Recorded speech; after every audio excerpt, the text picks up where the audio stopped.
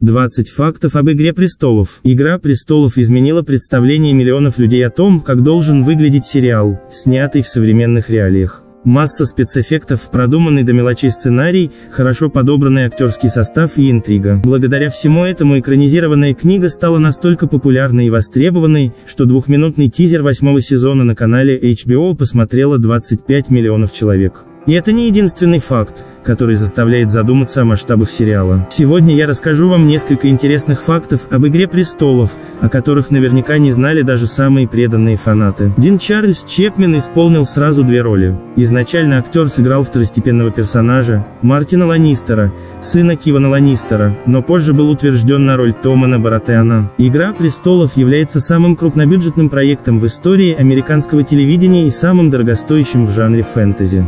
Бюджет первого сезона оценивается в 60 миллионов долларов, бюджет последнего восьмого сезона достиг 90 миллионов долларов. Но даже при таких затратах актеры «Игры престолов» не самые высокооплачиваемые актеры сериалов в мире. На первом месте в рейтинге находится весь главный актерский состав теории Большого Взрыва. Пылающий меч Берека Дондариона снят без спецэффектов. Все, что мы видим в кадре, происходит без вмешательства компьютерной графики. На самом деле Мечей 2, первый используют при съемках обычных сцен, а второй при боевых. Внутри обычного меча есть небольшие емкости для газа, а подача искры к этим емкостям происходит с помощью небольшой кнопки на мече. Во втором сделаны вставки из керамического волокна. Его пропитывают специальной смесью и поджигают. Заставку сериала обновляют с каждым новым сезоном. В трехмерную карту добавляют новые земли, помечая их гербом правящей семьи.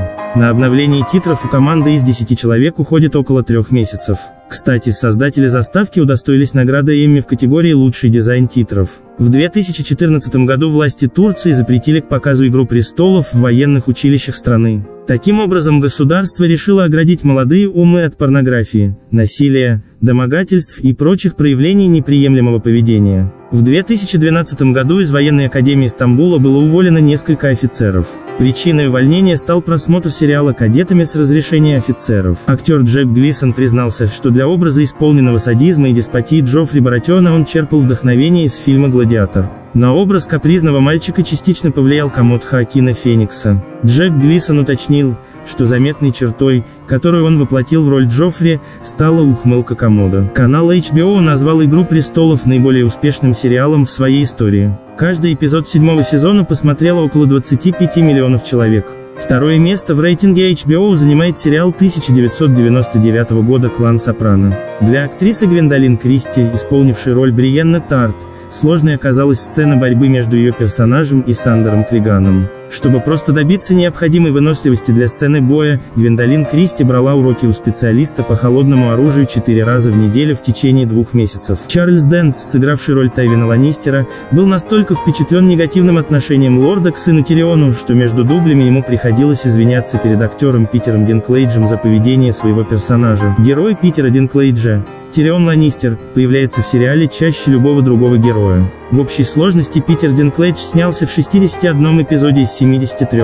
В сериале присутствует любовная сцена, в которой зрители впервые увидели актера Кита Харингтона обнаженным. Это сцена, где Джон Сноу и Грит находятся в пещере. Но в интервью журналу ГК Кит Харингтон признался, что ягодицы, которые так усердно обсуждали в социальных сетях, на самом деле принадлежат дублеру. В момент съемок актер сломал лодыжку, поэтому в сценах с крупным планом его заменял один из членов съемочной группы. Актер Джон Брэдли учился мастерству каллиграфии в течение нескольких недель. В сериале нам показали лишь короткий отрывок, где персонаж Брэдли Сэмюэл Тарли искусно выводит пером несколько строчек. Посмотреть на это можно в пятой серии седьмого сезона в сцене в библиотеке.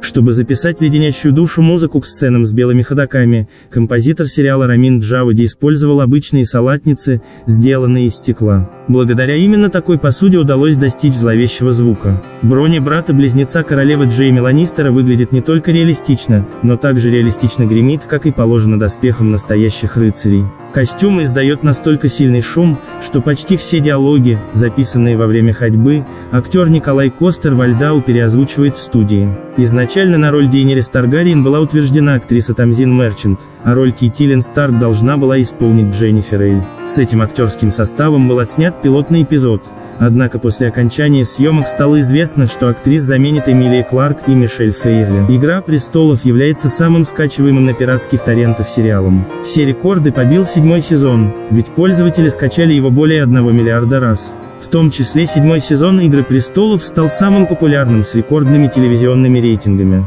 С другой стороны, HBO терпели убытки от взломов, утечек и, конечно же, пиратства. Топографический дизайнер из США создал собственную железнодорожную карту, которая в современной манере разъяснит запутанную местность Семи Королевств. Дизайнер добавил в карту массу отсылок к книге и сериалу. Например, на железнодорожной станции Харентаун нужно опасаться пыли. Ведь вблизи реставрируют замок Харенхол, разрушенный 300 лет назад драконом. Свадьба Джоффри и Маргери стала ярким событием четвертого сезона, ведь зрители наконец-то увидели, как Джоффри получил заслуженное наказание. Автор книги Джордж Мартин рассказал, что идеи для создания этих сцен он черпал из истории смерти принца Евстахии IV, сына английского короля Стефана, в 1153 году. Как и Джоффри, Юстас таинственно умер на празднике, скорее всего от яда, хотя некоторые источники утверждают, что наследник короля просто задохнулся. Свадьба Роба Старка и Талисы, которую Джордж Мартин назвал «Красной», также основана на реальных событиях, но уже из шотландской истории. Актриса Лина Хиди опубликовала совместное фото с Педро Паскалем, сыгравшим роль Аберина Мартела. На фото Хиди держит руки возле глаз Паскаля, что являлось тонким намеком на смерть его героя. Аберин Мартел умер в схватке с Григором Клиганом, когда тот выколол ему глаза. И вот совсем недавно Мэйси Уильямс дала еще одну подсказку, которая, возможно, касается исхода сериала. Актриса опубликовала фотографию своих кроссовок в краске, напоминающей кровь, подписав снимок «Последняя выжившая женщина». Под фотографией оставила свой комментарий Лина Хиди, написав «Королева». И теперь фанаты теряются в догадках,